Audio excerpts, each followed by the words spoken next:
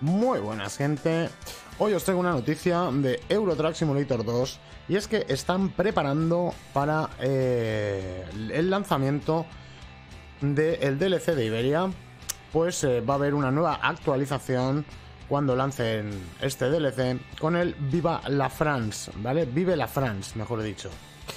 Eh, están desarrollando dos nuevas ubicaciones para que el tema de la frontera con España, ¿vale? De Francia a España, pues sea correcta y sea eh, coherente. Lo primero que están haciendo es la ciudad de Bayona, que está en el noreste de Francia, ¿vale? Hay una conexión importante para los conductores que se dirigen a España, se encuentra cerca de la frontera y también contará con industrias locales con las que los conductores pueden realizar entregas desde y hacia eh, esta localización. Y la segunda sería LAC, Que está en el distrito de Pau y es un pequeño pueblo que será un recorrido panorámico para la mayoría.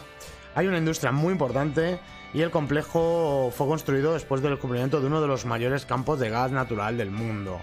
Así que esas son las dos cosas que van a agregar a Vive la France, a ese DLC que, eh, bueno, tiene bastante tiempo Así que va a venir bien para la conexión con el de Iberia. Todavía no tenemos ninguna fecha hasta el momento del lanzamiento de Iberia.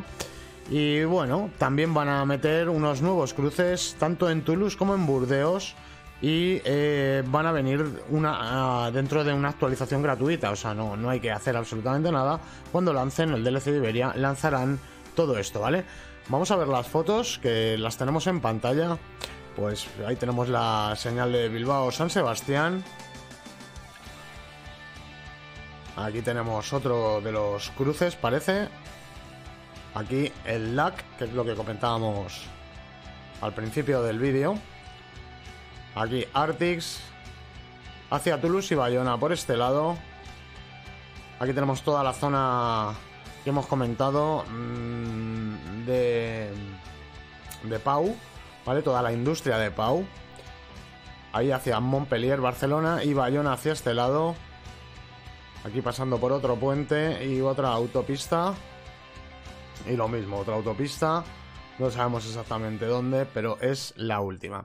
Así que nada, simplemente traeros esta noticia, me parecía interesante, así que DLC gratuito de Vive la France cuando salga el famoso DLC de Iberia retrasado y demás, que lo estamos esperando con muchas ansias, espero que no tarde mucho en salir.